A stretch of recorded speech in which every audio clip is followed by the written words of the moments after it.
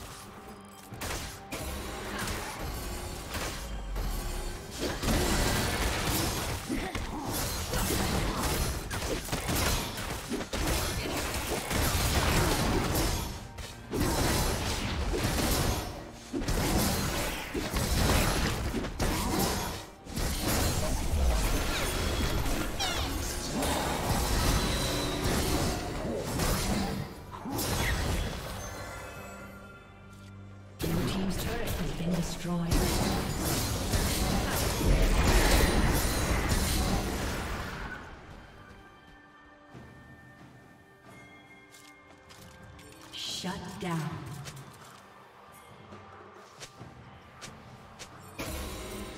Red Team's turret has been